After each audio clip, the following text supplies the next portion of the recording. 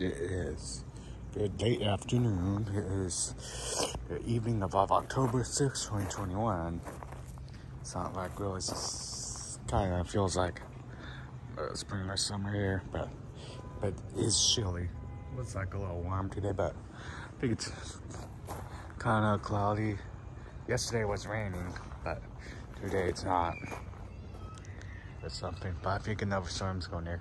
Yeah, there was actually lightning like last night, so it's still kind of months, like a light monsoon season, not like in the winter rain season, the lot, you know, but so nice to hear. but it's not chilly here. It's not like cold. Actually, it's it says it's 79. Yeah, so it's actually comfortable out here. It's not too bad, but it was like a little hot in the house, but because it was kind of hot in the house, but because it was like stuffy in the house in a way, something. Because uh, I feel like I needed air conditioning because it's an older house. The house was built in the 50s. It's, it's, it's not, not the house is kind of okay. Well, the house is alright. It's not like really beautiful, but it's kind of okay. But it's not like it's not nice, nice. It's definitely not like a luxury house, but it's kind of small. It's not a small. Has four room. Okay. Look at that sky. Look at it. Look. Yep, those clouds. We could do a 360 real quick. Yeah, we still got like an hour of light left. And go. This video's going on for two minutes. It's so nice out here. I know where it's other parts of the country where I think up north, like where it snows a lot.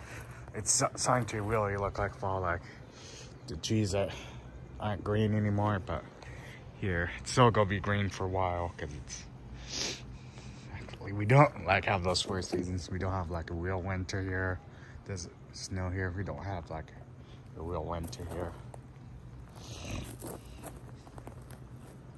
Like seasons, like summer's over, like kind of feels like fall. Then until like feel like winter again, and then be summer again. It's like same thing. Like even in their old swings, like March, April, even even in May, like sometimes it feels like winter. Or like that's winter weather. It feels like chilly. And that's winter weather to us. Like 10 years ago, like when I was almost done with high school, I think it was actually my last week of classes in high school. Like was late May and like it was like chilly that day. And like it was like kind of freezing, like something wasn't that cold cold, but it's like cold for us. Like cold enough that we need a heater. It's like crazy. But it's not winter anymore. Yeah. But you know? It's not summer anymore. A lot of people are just like winterizing their pools. But like those neighbors, haven't used their pool out all this year. Usually just the time where people like cover their pools for the winter. Yeah where I used to live, like in the desert. Like, yeah, a lot of people think the desert gets really hot there.